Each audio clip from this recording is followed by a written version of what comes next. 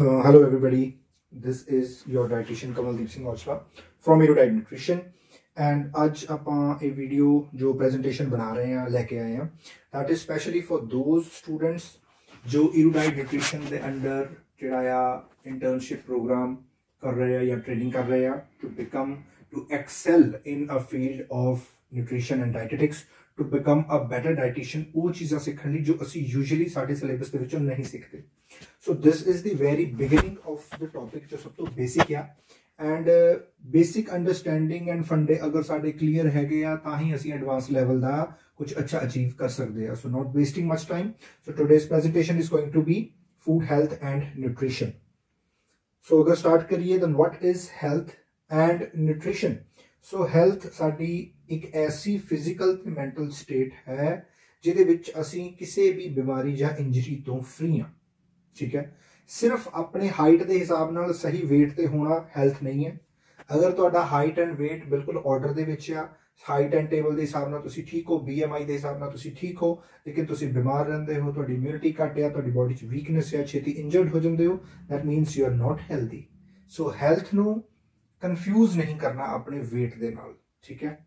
Second ਚੀਜ਼ is what is nutrition nutrition ਹੈ nourishment ਔਰ energy that is obtained from food consume ਜੋ ਅਸੀਂ ਖਾਣਾ ਖਾਂਦੇ ਆ ਉਹਦੇ ਵਿੱਚੋਂ ਸਾਨੂੰ ਕੀ એનર્ਜੀ ਮਿਲਦੀ ਹੈ ਜੋ ਸਾਡੀ ਸਰੀਰਕ ਰਿਕੁਆਇਰਮੈਂਟ ਪੂਰੀ ਕਰਦੀ ਹੈ ਐਂਡ ਜੋ ਨਰਿਸ਼ਮੈਂਟ ਸਾਨੂੰ ਮਿਲਦੀ ਹੈ, ਜੋ ਸਾਡੀ ਖੁਰਾਕ, ਸਾਡੇ ਸੈਲਸ ਦੀ, ਸਾਡੀ ਬੋਡੀ ਦੀ ਜੋ ਹੈ ਉਹ ਜੋ ਸਾਨੂੰ ਮਿਲਦੀ ਹੈ, ਉਹ nutrition so health and nutrition the topic ਅਗਰ ਸਾਨੂੰ ਮਾਈਂਡ 'ਚ ਕਲੀਅਰ ਹੋਏਗਾ, ਫਿਰ ਹੀ ਅੱਗੇ ਵਧਿਆ ਜਾ ਸਕਦਾ ਹੈ। ਅਗੇਨ ਮੈਂ ਕਹਿ ਦਵਾਂ, ਸਿਰਫ weight ਠੀਕ ਹੋਣਾ ਹੈਲਥ ਦੀ ਨਿਸ਼ਾਨੀ ਨਹੀਂ ਹੈ। ਦਵਾਈਆਂ ਨਾ ਖਾਂਦੇ ਹੋਣਾ ਵੀ ਹੈਲਥ ਦੀ ਨਿਸ਼ਾਨੀ ਹੋ ਸਕਦਾ, ਤੁਹਾਨੂੰ ਪ੍ਰੋਬਲਮਸ ਹੋਣ। ਲੇਕਿਨ ਤੁਸੀਂ ਨਹੀਂ ਕੋਈ ਮੈਡੀਸਿਨ ਖਾ ਰਹੇ ਸਪੋਜ਼ ਕੋਈ ਬੰਦਾ ਢੀਠ ਬਣਿਆ ਹੋਇਆ ਵੀ ਮੈਂ ਨਹੀਂ, ਮੈਂ ਠੀਕ ਆ ਉਹ ਆਪਣੇ ਆਪ ਨੇ ਕਹੀ ਜਾਂਦਾ ਵੀ ਮੈਂ ਠੀਕ ਆ ਠੀਕ ਹੈ? ਐਂਡ ਦੈਟ ਡਸਨਟ ਮੀਨ ਕਿ ਅਗਰ ਤੁਹਾਡਾ ਬੋਡੀ weight ਹਾਈ ਆ ਬੋਡੀ weight ਬਹੁਤ ਜ਼ਿਆਦਾ ਆ, ਠੀਕ ਹੈ? ਐਂਡ ਹਜੇ ਤੁਹਾਨੂੰ ਕੋਈ ਬਿਮਾਰੀ ਨਹੀਂ ਲੱਗੀ, ਕੋਈ ਬੀਪੀ ਸ਼ੂਗਰ ਥਾਇਰਾਇਡ ਉਹ ਵੀ ਹੈਲਥ ਨਹੀਂ ਹੈ। ਸੋ ਹੈਲਥ ਦੇ ਕਨਸੈਪਟ ਨੂੰ ਸਮਝਣਾ is very important so next question ਆਇਦਾ why is nutrition so important nutrition important ਕਿਉਂ ਹੈ ਨਿਊਟ੍ਰੀਸ਼ਨ ਦੇ ਕਾਫੀ ਸਾਰੇ ਐਸਪੈਕਟਸ ਹੈਗੇ ਆ ਠੀਕ ਹੈ ਸਾਡੀ ਫਿਜ਼ੀਕਲ ਹੈਲਥ ਨੂੰ ਠੀਕ ਰੱਖਦਾ ਹੈ ਸਾਡੀ ਮੈਂਟਲ ਹੈਲਥ ਨੂੰ ਸਟੇਬਲ ਰੱਖਦਾ ਹੈ ਸਾਨੂੰ ਡਿਜ਼ੀਜ਼ ਫ੍ਰੀ ਰੱਖਦਾ ਹੈ ਇੰਡੀਪੈਂਡੈਂਟ ਰੱਖਦਾ ਹੈ ਅਗਰ ਅਸੀਂ ਡਿਜ਼ੀਜ਼ ਫ੍ਰੀ ਹਾਂ ਫਿਜ਼ੀਕਲੀ ਐਂਡ ਮੈਂਟਲੀ ਹੈਲਥੀ ਹਾਂ ਤੇ ਅਸੀਂ ਆਪਣੇ ਆਪ 'ਚ ਇੰਡੀਪੈਂਡੈਂਟ ਆ ਬੈਸਟ ਪਰਫਾਰਮੈਂਸ ਆਪਟੀਮਮ ਪਰਫਾਰਮੈਂਸ ਸਾਡੀ ਬਾਡੀ ਦੀ ਜਿਹੜੀ ਹੈ ਉਹ ਅਚੀਵ ਹੁੰਦੀ ਹੈ ਅਗਰ ਨਿਊਟ੍ਰੀਸ਼ਨ ਸਾਡਾ ਲੈਵਲ ਅੱਛਾ ਹੈ ਲੇਕਿਨ ਸਾਡੇ ਦੇਸ਼ ਦੀ ਸਭ ਤੋਂ ਵੱਡੀ ਪ੍ਰੋਬਲਮ ਕੀ ਹੈਗੀ ਹੈ ਜਾਂ ਤੇ ਅੰਡਰ ਨਿਊਟ੍ਰੀਸ਼ਨ ਐਂਡ ਜਾਂ ਫਿਰ ਓਵਰ ਨਿਊਟ੍ਰੀਸ਼ਨ ਠੀਕ ਹੈ ਸੋ ਕਾਫੀ ਸਾਰੇ ਲੋਕ ਹੁਣ ਇਹ ਇੱਥੇ ਸਟੋਰੀ ਸਿਰਫ ਕੱਲੀ ਬੱਚਿਆਂ ਦੀ ਨਹੀਂ ਹੈਗੀ ਜਿਹੜੀਆਂ ਮੈਂ ਪਿਕਸ ਲਗਾਈਆਂ ਨੇ ਅੰਡਰ ਨਿਊਟ੍ਰੀਸ਼ਨ ਐਡਲਟਸ ਦੇ ਵਿੱਚ ਵੀ ਪਾਇਆ ਜਾਂਦਾ। ਇਨਫੈਕਟ ਮੈਂ ਇਸ ਗੱਲ ਨੂੰ ਕਹਿਣ ਤੋਂ ਬਿਲਕੁਲ ਵੀ ਗੁਰੇਜ਼ ਨਹੀਂ ਕਰੂੰਗਾ। ਬਹੁਤ ਸਾਰੇ ਨਿਊਟ੍ਰੀਸ਼ਨਿਸਟ ਐਂਡ ਡਾਈਟੀਸ਼ੀਅਨਸ ਐਸੇ ਨੇ ਜੋ ਅੰਡਰ ਨਰਿਸ਼ਡ ਨੇ ਅੰਡਰ weight ਨੇ ਜਾਂ ਡਿਸਪਾਈਟ ਅੰਡਰ weight ਹੋਣਾ, ਲੇਕਿਨ ਤੁਹਾਡੀ ਬਾਡੀ ਦੇ ਵਿੱਚ ਪ੍ਰੋਪਰ ਕੋਰ ਸਟਰੈਂਥ ਹੋਣੀ ਇਸ ਅਲੱਗ ਅਲੱਗ ਗੱਲ ਹੈ ਠੀਕ ਹੈ? ਕੁਝ ਲੋਕਾਂ ਦਾ ਬਾਡੀ ਸਟਰਕਚਰ ਹੀ ਹਲਕਾ ਹੁੰਦਾ, ਲੇਕਿਨ ਉਹ ਫਿੱਟ ਨੇ ਐਕਟਿਵ ਨੇ। ਉਹ ਛੇਤੀ ਥੱਕਦੇ ਨਹੀਂ। ਉਹਨਾਂ ਦਾ mental level and energy level ਸਾਰਾ ਦਿਨ ਵਧੀਆ ਰਹਿੰਦਾ। ਅਗਰ ਸਟਿਲ ਉਹਨਾਂ ਦਾ weight ਘੱਟ ਆ, ਉਹ ਇੱਡੀ ਪ੍ਰੋਬਲਮ ਵਾਲੀ ਗੱਲ ਨਹੀਂ ਹੈ। ਲੇਕਿਨ ਕੁਝ ਲੋਕ ਅੰਡਰ weight ਵੀ ਨੇ ਅੰਡਰ ਨਰਿਸ਼ਡ ਵੀ ਨੇ, ਲੇਕਿਨ still they are preaching about nutrition ਠੀਕ ਹੈ? ਸੋ ਇਸ ਚੀਜ਼ ਦਾ ਸਾਨੂੰ ਬਹੁਤ ਜ਼ਰੂਰੀ ਹੈ ਸਮਝਣਾ। ਬੱਚਿਆਂ ਤੋਂ ਲੈ ਕੇ ਬਜ਼ੁਰਗਾਂ ਤੱਕ ਹਰ ਏਜ ਗਰੁੱਪ ਦੇ ਵਿੱਚ ਅੰਡਰ ਨਿਊਟ੍ਰੀਸ਼ਨ ਦੀ ਪ੍ਰੋਬਲਮ ਆ ਸਕਦੀ ਹੈ। ਸੈਕੰਡ ਐਸਪੈਕਟ ਕੀ ਹੈਗਾ ਹੈ? Second aspect is over nutrition ਯਾਨੀ ਕਿ ਜ਼ਰੂਰਤ ਤੋਂ ਜ਼ਿਆਦਾ ਸਾਡੇ ਸਰੀਰ ਦੇ ਵਿੱਚ ਹੋਣਾ, ਜੋ ਕਿ ਕੱਲ ਨੂੰ ਐਕਸੈਸ ਜੋ ਸਰਪਲਸ ਹੈ, ਉਹਦੇ ਕਰਕੇ ਬਿਮਾਰੀਆਂ ਲੱਗ ਸਕਦੀਆਂ ਹੈ ਠੀਕ ਹੈ? ਸੋ ਕਾਫੀ ਸਾਰੇ ਲੋਕ again coming to the point ਕਾਫੀ ਸਾਰੇ ਨਿਊਟ੍ਰੀਸ਼ਨਿਸਟ ਇਦਾਂ ਦੇ ਨੇ, ਜੋ ਕਿ ਖੁਦ ਡਾਈਟੀਸ਼ੀਅਨ ਐਂਡ ਨਿਊਟ੍ਰੀਸ਼ਨਿਸਟ ਜੋ ਕਿ ਖੁਦ ਓਵਰਵੇਟ ਨੇ ਅਨਹੈਲਦੀ ਹੈ ਠੀਕ ਹੈ? ਉਹਨਾਂ ਦੇ ਨੇਲਸ ਉਹਨਾਂ ਦੇ ਹੇਅਰ ਉਹਨਾਂ ਦੀ ਸਕਿਨ ਖਰਾਬ ਹੋ ਚੁੱਕੀ ਆ, ਲੇਕਿਨ ਸਟਿਲ ਉਹ ਲੋਕਾਂ ਨੂੰ ਪ੍ਰੀਚ ਕਰਦੇ ਆ ਅਬਾਊਟ ਨਿਊਟ੍ਰੀਸ਼ਨ ਜਦਕਿ ਉਹਨਾਂ ਨੂੰ ਅਨਫੋਰਚੂਨੇਟਲੀ ਖੁਦ ਨੂੰ ਨੌਲੇਜ ਨਹੀਂ ਹੈਗੀ। And why is this problem ਇਹ ਸਾਡੀ ਕੁਝ ਕੰਟਰੀ ਦਾ ਜੋ ਸੋਸ਼ਲ ਕਨਸਟਰਕਟ ਹੈਗਾ ਆ, ਉਹ ਇਸ ਤਰੀਕੇ ਦੇ ਨਾਲ ਹੀ ਬਣਿਆ ਹੋਇਆ ਆ, ਜਿਹਦੇ ਕਰਕੇ ਸਾਨੂੰ ਇੱਕ ਡਿਫਰੈਂਸ਼ੀਏਟ ਕਰਨਾ ਚਾਹੀਦਾ ਆ, ਆਉਣਾ ਚਾਹੀਦਾ ਆ ਕਿ ਕੌਣ ਅੰਡਰ ਨਰਿਸ਼ਡ ਆ ਐਂਡ ਕੌਣ ਓਵਰ ਨਰਿਸ਼ਡ ਆ, ਸੋ ਉਹਨੂੰ ਉਸ ਹਿਸਾਬ ਨਾਲ ਹੀ ਗਾਈਡ ਕੀਤਾ ਜਾ ਸਕੇ। So why do we fail Why we fail to understand nutrition? Problem ਕਿੱਥੇ ਆ? ਪਹਿਲੀ problem is lack of proper knowledge ਸਹੀ ਨੌਲੇਜ ਜਿਹੜੀ ਹੈਗੀ ਆ, ਉਹ ਸਾਡੇ ਲੋਕਾਂ ਨੂੰ ਨਹੀਂ ਮਿਲਦੀ ਪਈ। ਸੋ ਕਾਫੀ ਸਾਰੇ ਤੁਸੀਂ ਨਿਊਟ੍ਰੀਸ਼ਨਿਸਟ ਡਾਈਟੀਸ਼ੀਅਨ ਦੇਖਦੇ ਹੋ ਫਿਟਨੈਸ ਟ੍ਰੇਨਰ ਦੇਖਦੇ ਹੋ ਵਲੌਗਰ ਦੇਖਦੇ ਹੋ। ਹਰ ਕੋਈ ਪਰਸਨ ਫੋਨ ਫੜ ਕੇ ਵੀਡੀਓ ਬਣਾ ਕੇ ਅਪਲੋਡ ਕਰ ਰਿਹਾ ਆ। ਇਨਫੋਰਮੇਸ਼ਨ ਤੋਂ ਜ਼ਿਆਦਾ ਮਿਸ ਇਨਫੋਰਮੇਸ਼ਨ ਫੈਲਾ ਰਿਹਾ। ਦੇਖੋ I am also among those people ਠੀਕ ਹੈ? ਮੈਂ ਖੁਦ ਵੀ ਇਹਨਾਂ ਲੋਕਾਂ ਦੇ ਵਿੱਚ ਹੀ ਆਉਣਾ ਆ, ਜਦੋਂ ਗੱਲ ਕਰਦੇ ਆ ਆਨਲਾਈਨ ਕੰਟੈਂਟ ਕ੍ਰੀਏਟ ਕਰਨ ਦੀ, ਠੀਕ ਹੈ? ਲੇਕਿਨ ਅਗਰ ਤੁਹਾਡਾ ਕੰਟੈਂਟ ਫੈਕਟਲੈਸ ਆ ਸਾਇੰਟਿਫਿਕ ਰਿਸਰਚ ਲੈਸ ਆ, ਉਹਦੇ ਪਿੱਛੇ ਕੋਈ ਪ੍ਰੋਪਰ ਬੇਸ ਨਹੀਂ ਹੈ ਉਹਨੂੰ ਸਪੋਰਟ ਕਰਨ ਲਈ then you are misguiding people ਫਿਰ ਤੁਸੀਂ ਜਿਹੜੀਆਂ ਮਿਸ ਇਨਫੋਰਮੇਸ਼ਨ ਫੈਲਾ ਰਹੇ ਆ। ਐਂਡ ਇਹ ਮਿਸ ਇਨਫੋਰਮੇਸ਼ਨ ਹੀ ਸਾਨੂੰ ਨੁਕਸਾਨ ਕਰਦੀ ਹੈ ਕਾਮਨ ਪਬਲਿਕ ਨੂੰ ਵੀ ਕਰਦੀ ਹੈ। ਐਂਡ ਜਦੋਂ ਆਪਾਂ ਆਪਣੀ ਗੱਲ ਕਰਦੇ ਹਾਂ, ਜੋ ਲੋਕ ਇਸ ਲਾਈਨ 'ਚ ਪ੍ਰੋਫੈਸ਼ਨਲੀ ਹੈਗੇ ਨੇ ਜਾਂ ਆਉਣਾ ਚਾਹੁੰਦੇ ਨੇ, ਉਹਨਾਂ ਨੂੰ ਵੀ ਇਸ ਚੀਜ਼ ਦਾ ਨੁਕਸਾਨ ਹੁੰਦਾ। ਸੈਕੰਡ ਚੀਜ਼ ਇਸ ਕਿ ਕਿਉਰ ਇਨਐਕਸਪੈਂਸਿਵ ਆ। ਠੀਕ ਹੈ? ਨਿਊਟ੍ਰੀਸ਼ਨ ਦੀ ਨਿਊਟ੍ਰੀਸ਼ਨ ਦੇ ਥਰੂ ਜੋ ਕਿਉਰ ਹੈ, that ਇਜ਼ ਵੈਰੀ ਇਨਐਕਸਪੈਂਸਿਵ ਤੁਸੀਂ ਕਰਨਾ ਕੀ ਹੈ? ਤੁਸੀਂ ਆਪਣਾ ਖਾਣ ਪੀਣ ਦਾ ਤਰੀਕਾ ਚੇਂਜ ਕਰਨਾ ਹੈ ਕੁਆਂਟੀਟੀ ਚੇਂਜ ਕਰਨੀ ਹੈ ਟਾਈਮਿੰਗ ਚੇਂਜ ਕਰਨੀ ਹੈ। And you will slowly start getting healthy ਇਹਦੇ ਵਿੱਚ ਤੁਹਾਡਾ ਕੋਈ ਖਾਸ ਖਰਚਾ ਨਹੀਂ ਹੋ ਰਿਹਾ, ਠੀਕ ਹੈ? ਹਾਂ, ਜੋ ਛੋਟੀਆਂ ਮੋਟੀਆਂ ਕੁਝ ਚੀਜ਼ਾਂ ਤੁਸੀਂ ਨਵੀਆਂ ਪਾਏ ਕਰੋਗੇ ਡਾਈਟ ਪਲਾਨ ਦੇ ਅਕੋਰਡਿੰਗਲੀ ਜਾਂ ਜੇ ਤੁਸੀਂ ਡਾਈਟ ਚਾਰਟ ਲੈ ਰਹੇ, ਉਹ ਤੁਹਾਨੂੰ ਵਟਐਵਰ ਚਾਰਜ ਕਰੇਗਾ, ਉਸ ਚੀਜ਼ ਨੂੰ ਛੱਡ ਕੇ। ਲੇਕਿਨ ਇਸ ਨੂੰ ਪ੍ਰਮੋਟ ਤਾਂ ਨਹੀਂ ਕੀਤਾ ਜਾਂਦਾ ਕਿਉਂਕਿ ਇਹਦੇ ਵਿੱਚੋਂ ਪੈਸਾ ਨਹੀਂ ਕਮਾਇਆ ਜਾਂਦਾ।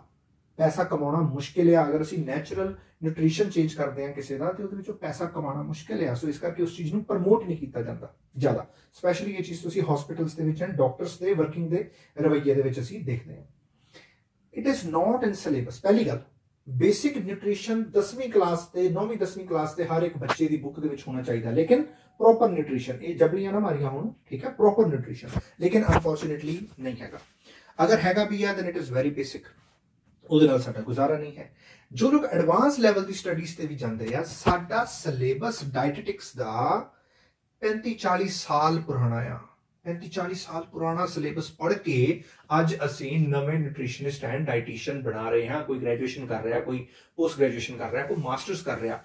I am not disrespecting your career choices or your education or academic qualifications, but reality ਇਹ ਆ, ਤੁਸੀਂ ਬੇਸ ਬੈਚਲਰਸ ਕੀਤੀ, ਚਾਹੇ ਮਾਸਟਰਸ ਕੀਤੀ, ਚਾਹੇ ਪੀਜੀ ਡਿਪਲੋਮਾ ਕੀਤਾ, ਅਗਰ ਤੁਹਾਡਾ ਸਿਲੇਬਸ ਹੀ 40 ਸਾਲ ਪੁਰਾਣਾ ਆ ਦੈਨ ਆਈ ਐਮ sorry, ਲੋਕਾਂ ਨੂੰ ਹੈਲਪ ਕਰਨ ਦੇ ਵਿੱਚ ਤੁਸੀਂ ਅੱਛਾ ਯੋਗਦਾਨ ਨਹੀਂ ਦੇ ਪਾਓਗੇ। ਗਵਰਨਮੈਂਟ ਪਾਲਿਸੀਜ਼ ਜਿਹੜੀਆਂ ਇਹਨਾਂ ਨਿਊਟ੍ਰੀਸ਼ਨ ਨੂੰ ਸਿਲੇਬਸ ਨੂੰ ਅਪਡੇਟ ਨਹੀਂ ਕਰਦੀਆਂ ਗਲਤ ਪਾਲਿਸੀਜ਼ ਹੈ। ਇਸ ਤੋਂ ਇਲਾਵਾ ਗਵਰਨਮੈਂਟ ਦੇ ਜੋ ਪਲਾਨਸ ਹੈਗੇ ਨੇ ਮਾਲ ਨਰਿਸ਼ਮੈਂਟ ਨੂੰ ਐਰੈਡੀਕੇਟ ਕਰਨ ਦੇ ਜਾਂ ਹੋਰ ਜੋ ਵੀ ਸੰਸਥਾਵਾਂ ਜਿਹੜੀਆਂ ਇਸ ਚੀਜ਼ ਤੇ ਕੰਮ ਕਰ ਰਹੀਆਂ ਆ ਚਾਈਲਡ ਐਂਡ ਔਮਨ ਵੈਲਫੇਅਰ ਦੇ ਵਿੱਚ ਜਾਂ ਹੋਰ ਜਿੰਨੀਆਂ ਵੀ ਸੰਸਥਾਵਾਂ ਨੇ, ਉਹ ਵੀ ਆਪਣਾ ਕੰਮ ਕੋਈ ਬਹੁਤ ਅੱਛੇ ਤਰੀਕੇ ਨਾਲ ਨਹੀਂ ਕਰ ਪਾ ਰਹੀਆਂ। ਗਾਈਡਲਾਈਨਸ ਟੋਟਲੀ ਯੂਐਸ ਜਾਂ ਹੋਰ ਵੱਡੇ ਦੇਸ਼ਾਂ ਦੀ ਗਾਈਡਲਾਈਨਸ ਤੋਂ ਨਕਲ ਕਰਕੇ ਗਾਈਡਲਾਈਨਸ ਬਣਾਈਆਂ ਜਾ ਰਹੀਆਂ ਨੇ, ਆਪਣੀ ਕੋਈ ਖੁਦ ਦੀ ਕ੍ਰੈਡੀਬਲ ਰਿਸਰਚ ਨਹੀਂ ਹੈ। ਜੋ ਚੀਜ਼ ਅਮਰੀਕਨ ਡਾਇਟਿਕ ਐਸੋਸੀਏਸ਼ਨ ਮੈਂ ਐਗਜ਼ਾਮਪਲ ਦੇ ਰਿਹਾ, ਜੋ ਚੀਜ਼ ਅਮਰੀਕਨ ਡਾਇਟਿਕ ਐਸੋਸੀਏਸ਼ਨ ਨੇ ਦੱਸ ਦਿੱਤੀ, ਉਹੀ ਇਹਨਾਂ ਨੇ ਕਾਪੀ ਕਰ ਲੈਣੀ ਹੈ। ਠੀਕ ਹੈ, ਜੋ ਹੀ American cardiac health care association ਨੇ ਜਾਰੀ ਕਰ ਦਿੱਤੀਆਂ ਗਾਈਡਲਾਈਨਸ ਉਹੀ ਜਿਹੜੀਆਂ ਸਾਡੀ ਗਵਰਨਮੈਂਟ ਨੇ ਕਾਪੀ ਕਰ ਲੈਣੀਆਂ ਆ। ਸੋ ਉਹ ਲੋਕ ਗਾਈਡਲਾਈਨਸ ਬਣਾਉਂਦੇ ਨੇ ਆਪਣੇ ਹਿਸਾਬ ਨਾਲ, ਆਪਣੇ ਲੋਕਾਂ ਲਈ। ਉੱਥੇ ਦੇ ਰਹਿਣ ਵਾਲਿਆਂ ਲਈ, ਹੁਣ ਉੱਥੇ ਦੀਆਂ living conditions economic conditions and environmental conditions ਕਿੰਨੀਆਂ ਡਿਫਰੈਂਟ ਆ। ਉਹਨਾਂ ਲੋਕਾਂ ਦੇ ਜੈਨੇਟਿਕਸ ਐਂਡ ਬੋਡੀ ਮੈਕੈਨਿਜ਼ਮਸ ਕਿੰਨੇ ਡਿਫਰੈਂਟ ਆ। ਲੇਕਿਨ ਉਹਨਾਂ ਦੀਆਂ ਗਾਈਡਲਾਈਨਸ ਚੁੱਕ ਚੁੱਕ ਕੇ ਸਾਡੇ ਉੱਤੇ ਸੁੱਟੀਆਂ ਜਾ ਰਹੀਆਂ ਨੇ which are actually useless another reason ਕਿ ਅਸੀਂ ਨਿਊਟ੍ਰੀਸ਼ਨ ਨੂੰ ਨਹੀਂ ਸਮਝ ਪਾਉਂਦੇ that is too many options ਹਰ ਕੋਈ ਬੋਲ ਰਿਹਾ ਹੈ, ਹਰ ਕੋਈ ਆਪਣੀ ਗੱਲ ਕਹਿਣੀ ਚਾਹੁੰਦਾ ਹੈ ਹਰ ਕੋਈ ਬੋਲ ਰਿਹਾ ਹੈ ਸਿੱਧਾ ਬੋਲ ਰਿਹਾ, ਪੁੱਠਾ ਬੋਲ ਰਿਹਾ, ਸਹੀ ਬੋਲ ਰਿਹਾ, ਗਲਤ ਬੋਲ ਰਿਹਾ। ਇਹਦੇ ਵਿੱਚ ਕੁਝ ਨਹੀਂ ਹੈਗਾ।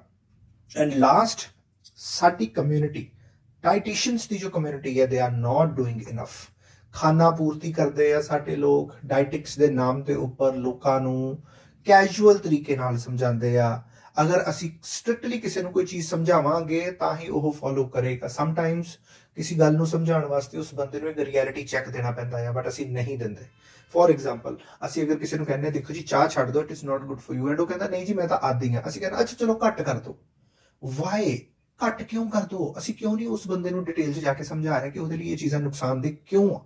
ਅਗਰ ਸਪੋਜ਼ ਕਿਸੇ ਬੰਦੇ ਨੂੰ ਹਾਈ ਪ੍ਰੋਟੀਨ ਚਾਹੀਦਾ, ਅਗਰ ਉਹਦੇ ਬਾਡੀ ਬਹੁਤ ਮਾਲ ਨਰਿਸ਼ਡ ਆ ਬਟ ਉਹ ਵੈਜੀਟੇਰੀਅਨ ਆ, ਅਸੀਂ ਕਿਉਂ ਉਹਨੂੰ ਨਹੀਂ ਸਮਝਾਉਂਦੇ pros and cons vegetarian diet ਹੋਣ ਦੇ? ਕਿਉਂ ਨਹੀਂ ਸਮਝਾਉਂਦੇ ਕਿ ਉਹ ਕਿੱਥੇ ਗਲਤੀਆਂ ਕਰ ਰਿਹਾ, ਕਿੱਥੇ ਉਹਨੂੰ ਜ਼ਿਆਦਾ ਧਿਆਨ ਦੇਣ ਦੀ ਲੋੜ ਆ? Dietitians are not doing enough and second ਚੀਜ਼, ਇਹਦੇ ਨਾਲ ਹੀ I would like to point ਕਿ ਡਾਈਟੀਸ਼ੀਅਨਸ ਨੂੰ ਕੁਝ ਕਰਨ ਵੀ ਨਹੀਂ ਦਿੱਤਾ ਜਾਂਦਾ। ਠੀਕ ਹੈ ਨਾ? Not able to work freely. ਆਜ਼ਾਦੀ ਨਾਲ ਖੁੱਲ ਕੇ ਕੰਮ ਵੀ ਨਹੀਂ ਕਰਨ ਦਿੱਤਾ ਜਾਂਦਾ। ਅਗਰ ਮੈਂ ਆਪਣੀ ਪ੍ਰੈਕਟਿਸ ਦੇ ਵਿੱਚ ਕੁਝ ਚੀਜ਼ਾਂ ਜ਼ਰੂਰਤ ਤੋਂ ਜ਼ਿਆਦਾ ਕਰਨ ਦੀ ਕੋਸ਼ਿਸ਼ ਕਰਦਾ ਹਾਂ ਨਾ, ਤੇ ਮੈਨੂੰ ਉੱਪਰੋਂ ਆਰਡਰ ਆਉਂਦੇ ਆ ਕਿ ਇੰਨਾ ਨਹੀਂ ਦੱਸਣਾ। ਪੇਸ਼ੈਂਟ ਨੂੰ ਇੰਨੀ ਇਨਫੋਰਮੇਸ਼ਨ ਨਹੀਂ ਦੇਣੀ। ਪੇਸ਼ੈਂਟ ਨੂੰ ਘੱਟ ਰੈਸਟ੍ਰਿਕਸ਼ਨਸ ਲਗਾਉਣੀਆਂ ਆ। ਤੁਸੀਂ ਪੇਸ਼ੈਂਟ ਤੇ ਬਹੁਤ ਜ਼ਿਆਦਾ ਰੈਸਟ੍ਰਿਕਸ਼ਨ ਲਗਾ ਰਹੇ ਹੋ। ਆਬਵੀਅਸਲੀ ਜਿਹੜਾ ਬੰਦਾ ਜ਼ਿਆਦਾ ਬਿਮਾਰ ਹੋਏਗਾ, ਉਹ ਤੇ ਜ਼ਿਆਦਾ ਰੈਸਟ੍ਰਿਕਸ਼ਨਸ ਲੱਗਣਗੀਆਂ। ਠੀਕ ਹੈ? ਲੇਕਿਨ ਸਾਨੂੰ ਓਪਨਲੀ ਕੰਮ ਨਹੀਂ ਕਰਨ ਦਿੱਤਾ ਜਾ ਰਿਹਾ। ਮੈਜੋਰਿਟੀ ਡਾਈਟੀਸ਼ੀਅਨ ਕੰਮ ਕਰਕੇ ਖੁਸ਼ ਨਹੀਂ ਹੈਗੇ ਐਂਡ ਕਾਫੀ ਸਾਰੇ ਲੋਕਾਂ ਨੂੰ ਕੰਮ ਕਰਨ ਨਹੀਂ ਦਿੱਤਾ ਜਾ ਰਿਹਾ।